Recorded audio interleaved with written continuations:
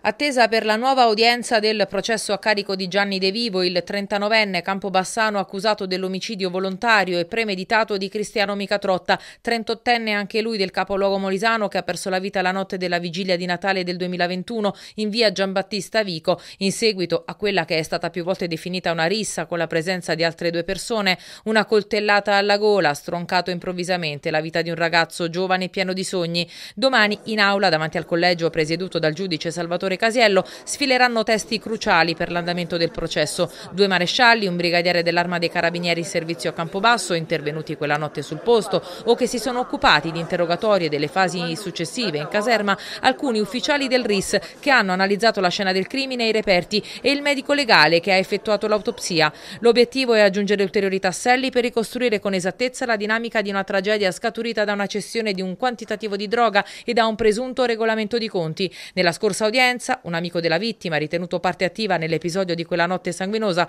si è avvalso della facoltà di non rispondere, mentre l'altro ragazzo che era presente durante l'aggressione ha raccontato la sua versione dei fatti, spiegando anche perché si ritrovò sotto casa di De Vivo insieme alla vittima e all'altro ragazzo. Per i legali dei familiari di Mica Trotta, da Loisio, Albino e Fiorda, non ci sono dubbi sulle responsabilità dell'imputato. Diversa la tesi degli avvocati Principe e Stellato, i legali di De Vivo, il coltello non è del nostro assistito, hanno sempre affermato, attesa anche per la decisione della Cassazione sulla scarcerazione dell'imputato.